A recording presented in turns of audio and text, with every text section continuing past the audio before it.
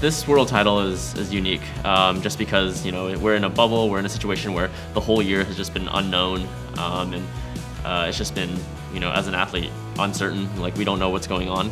Um, so to be able to have this opportunity to come here to be able to compete um, regardless of whether or not they're fans you know it's just it means a lot to the athletes. It means it gives us something to work for something to look forward to something to, to, to strive for. Uh, so I think we're all really happy and lucky to be in this position that we can compete at a competition um, and you know, that being said, this competition was just different. And as an athlete, you know, we love to have people watching. We love to have people uh, supporting. So it just is strange to not have that. Um, and definitely, I think that the energy from the audience felt lacking. And of course, you know, they weren't there.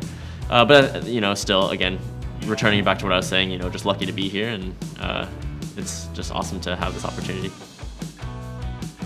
Uh, today, I just wanted to remind myself to, you know, be present, be happy in this moment, and uh, just be calm. You know, I think that the short program was, I was a little bit frantic, and that was partially a result of just not having a lot of competitions this season, especially international competitions.